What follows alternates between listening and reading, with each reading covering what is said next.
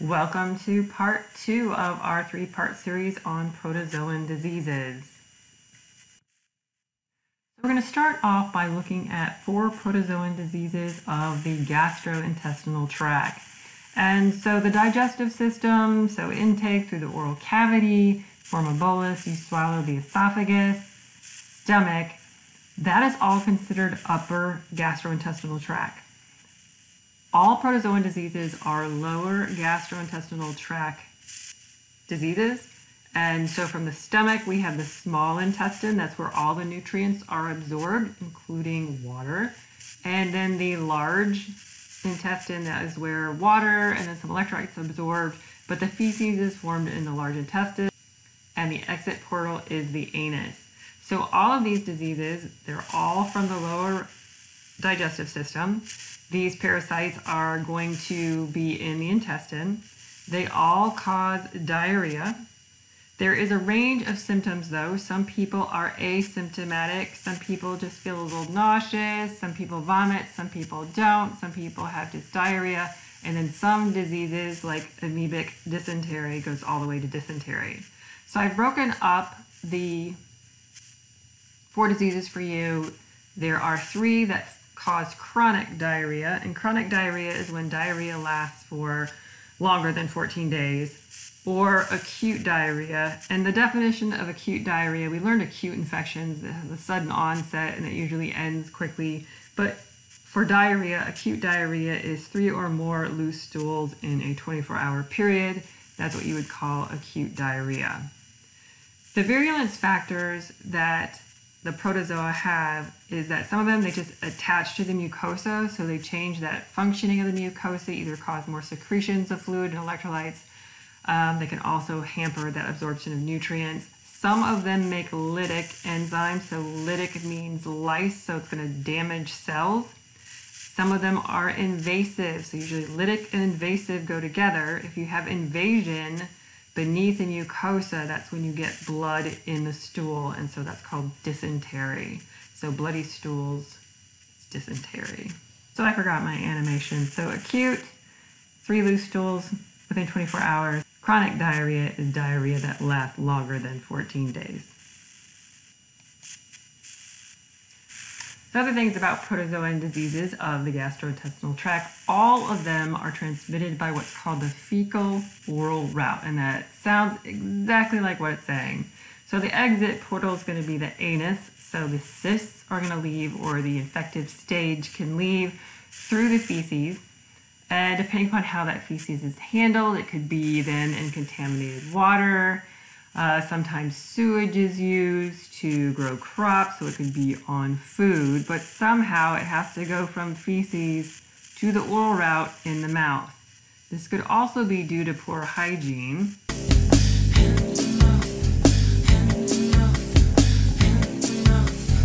So that probably gave you a good picture of that. That was George Michael, by the way.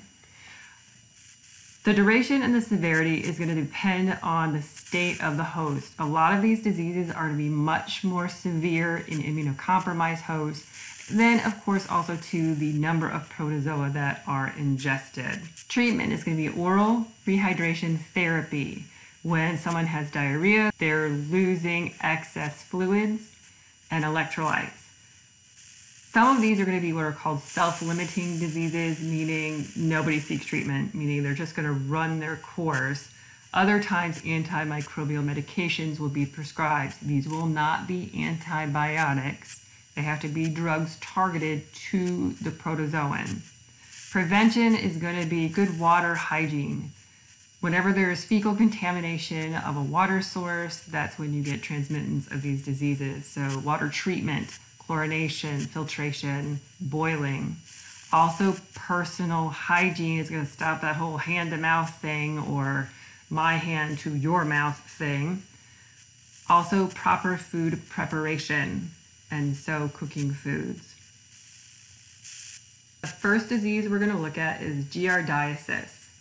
And so this is a form of chronic diarrhea. And yes, there's differences in diarrhea. This diarrhea may have mucus and usually has a very strong odor.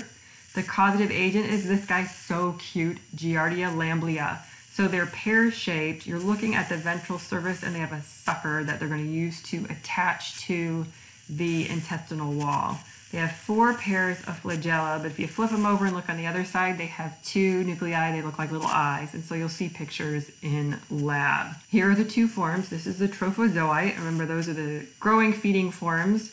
And then they are going to encyst, and so this is one actually coming out of the cyst, so excystation.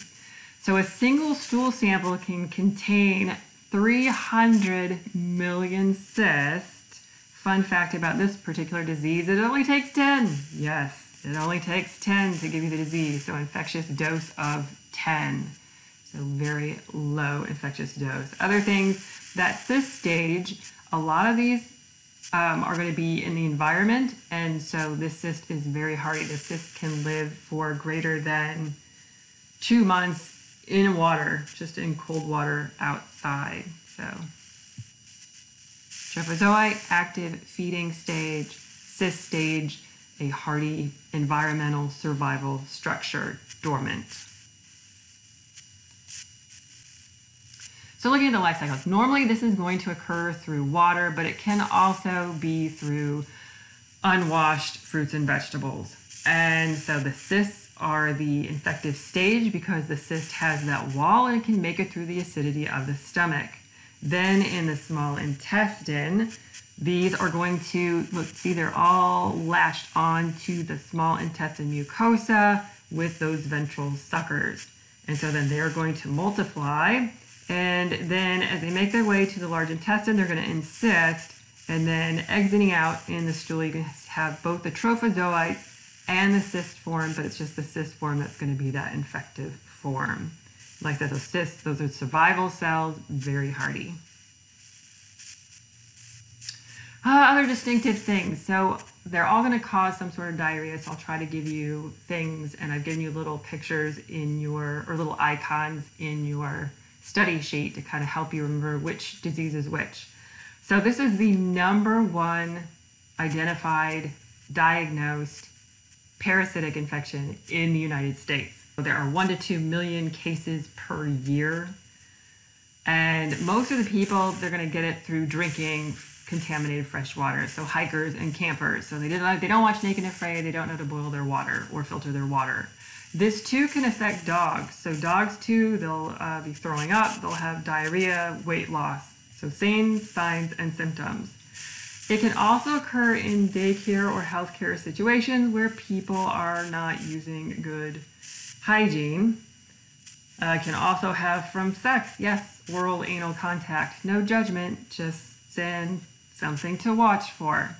And like I said, so it's also the most common. So number one parasite in the United States. The disease is giardiasis caused by Giardia lamblia, a flagellate. And so there, this is here for you. Just in case you don't have a textbook, I threw that in there. So our next one is amoebiasis, or if you just kind of remember, it's amoebic dysentery, because that is the only one that we're studying that causes dysentery. This is a form of chronic diarrhea with blood, that's what makes it dysentery, or pus in the feces. Usually there's going to be a fever present. So causative agent, Entamoeba histolytica. So this word is giving you a hint and telling you how it can cause dysentery. So histo means tissue, lytic means death. So this organism, it makes lytic enzymes and it actually causes cells to go through apoptosis and then it can invade the mucosa. Other thing too, the cysts are chlorine resistant. It can be transferred person to person and they believe that 10% of the worldwide carries this amoeba in their intestine. This is the one that causes most deaths out of any of the other gastrointestinal protozoan diseases. And so it's mostly in infants and elderly and also the immunocompromised in the United States, the people that you're going to see that have these, it's high in the MSM population, men that have sex with men. You'll also see them in the immigrant poor. And so for a lot of these, they're going to say domestically acquired or exotic, meaning somebody got them in another country. Amoebic dysentery is a bigger problem in developing countries that don't have water sewer treatment. And so it's common to pick it up elsewhere. So, an exotic infection, as far as who you will see have it in the United States, men that have sex with men and the immigrant poor. So, they came from one of those developing nations. So this is what it looks like. So these are you can see the ulcers, these raised borders. But if you look at it longitudinally, so this is the histology, you see the microvilli, and then right here that is a flask-shaped ulcer. And so that is a typical histology of amoebiasis, so amoebic dysentery. From this ulcer, then they smeared out, and then you can see those trophozoites of those amoeba. And so that is the active form. It's the only one that causes dysentery. Since it's capable of making these lytic enzymes, it can also penetrate that mucosa, get into blood vessels, and then circulate throughout the body and cause abscesses. And that word abscess, it just means a pus filled region of swollen, inflamed tissue. And so this is showing one in the liver, but it can also travel and go to other organs, the brain and kidneys, and can cause death. So it is the number one cause of deaths from gastrointestinal protozoans. And so there that is for you. They spelled it wrong here. It's amoebiasis, so like an amoeba. And so that's there for you. Once again, good sanitation, personal hygiene is the best prevention. So our next one is cyclosporiasis. The causative agent is Cyclospora cayetanensis. This causes chronic diarrhea. If someone seeks treatment, like I said, you're going to have range of symptoms. There is no blood in the stool. This is not dysentery, and the person will have a fever.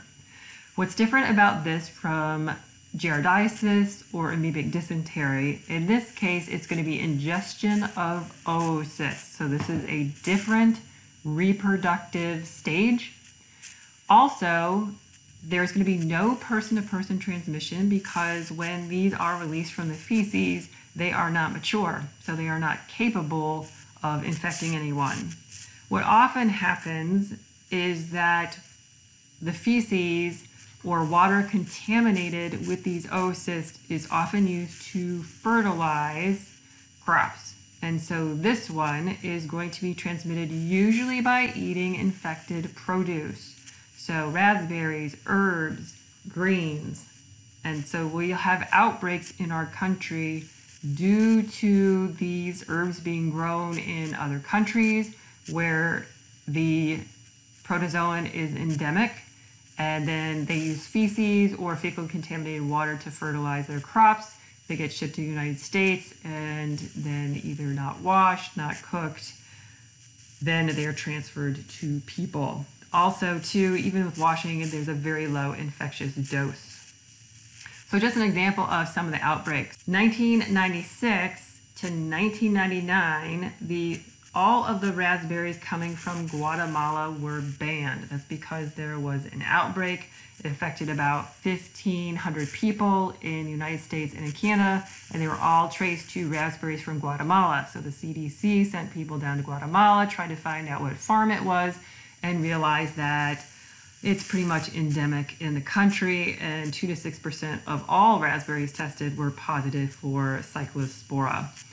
Uh, also, too, more recently, you may remember this one in 2018, like all the prepared salad kind of got pulled off of the market rather suddenly. I believe cilantro was a part of this too. A lot of times there's going to be recalls of greens when they are infected with cyclospora. And so just to kind of help you with your memory, because I always had to keep, you got to keep your cyclospora straight from your cryptic Cryptococcus in a minute. I'm going to add cryptosporidiasis in a minute. So think cyclo, cyclists. They're healthy people. They like their produce. So maybe that can help you remember cyclosporiasis caused by Cyclospora cayetanensis. And this is a non-motile apicomplexum. a sporozoan. All right, so our last one is cryptosporidiosis, which we're just going to call crypto. Cryptosporidium is a microscopic parasite that lives in the intestines of infected humans and animals. It can be found in soil, food, water, or surfaces that have been contaminated with the feces from an infected host. Cryptosporidiosis is the name of the diarrheal disease caused by Cryptosporidium. The disease and the parasite are commonly referred to as crypto. An infected person or animal sheds the parasites in their stool. In fact, millions of parasites can be released in a bowel movement from an infected human or animal. The parasite is protected by an outer shell that allows it to survive outside the body for long periods of time and makes it very resistant to chlorine-based disinfectants. Crypto can be spread by putting something in your mouth or accidentally swallowing something that has come into contact with waste infected with crypto. By swallowing recreational water contaminated with crypto. By swallowing contaminated water or beverages. By eating uncooked food contaminated with crypto or by touching your mouth with contaminated hands. People in buildings that have suffered from a sanitary sewer overflow or due to a flooding event should be aware of this parasite. Childcare workers who change diapers and healthcare workers are also at risk. The most common symptoms of cryptosporidiosis is watery diarrhea. Other symptoms include stomach cramps or pain, dehydration, nausea, vomiting, fever, and weight loss. Some people with crypto will have no symptoms at all. While the small intestine is the site most commonly affected, crypto infections could possibly affect other areas of the digestive tract or the respiratory tract. These are just a few things to know about cryptosporidium. Okay, so cryptosporidiasis, crypto. So this is acute diarrhea, so it's going to last less than 14 days. It's usually self-limiting meaning someone's just going to empty themselves out and it does not require treatment. Although sometimes people can recover, but they will continue to shed oocysts for weeks after the symptoms subside. So, fecal oral spread, and so the are dormant. Uh, remember, they're resistant to harsh environments, and then the oocysts are part of that life cycle. The big thing with this one, and I gave you a picture of someone swimming or of water treatment. These oocysts, they can resist chlorination, and sometimes because they're small, they can pass through filters, filtration systems. And so you will see outbreaks in swimming areas, so think pools or water parks, and also sometimes municipal water supply. It can also be transferred person to person. And like I said, people can continue to shed those oocysts for weeks after they recover. So yeah, they've had some really big outbreaks. So in 1993, they had 403,000 cases just in Milwaukee. So just in one city. Yes, uh, that's 25% of the population in Milwaukee. What happened though, 69 people died, 93% were AIDS patients. So this is one of those things if someone's immunocompromised, infants or elderly, they're going to have a high chance of dying from a gastrointestinal tract disease. This case, uh, majority of those deaths were due to AIDS patients. Uh, in swimming pools, so recreational areas, swimming pools, about half of the outbreaks from pools are going to be all crypto. Crypto Cryptosporidiasis, Crypto is usually how it's referred because that is a mouthful. Also, since I don't want you to get confused between cryptococcosis, which was cryptococcal meningitis, I won't put those two on the same question because that'd be mean. So just kind of a refresher, we looked at Giardia lamblia, we looked at Entamoeba histolytica. Both of those are shedding cysts. Both of those, that cyst is going to be in the water or in the environment. These oocysts, they too are going to be out into the environment for the cyclosporiasis. They are immature, so remember that's the one you can't get from someone else. You can only get from uh, eating produce or drinking infected water. In this case, in Crypto's case, we're going to get the oocysts being shed, but they are ready to go. And so, like I said, usually it's going to be through contaminated municipal water supply or pool recreation areas. And so we're going to get ingestion. Once again, it's going to go into the intestine and cause that acute watery diarrhea. Here is the table from your textbook in case you would like to get more information. All right, so you have this in your notes. This is kind of what I want you to know. I have made a Quizlet for you. And so that's it. I'm going to wrap this one up, come back for part three. You have an awesome day.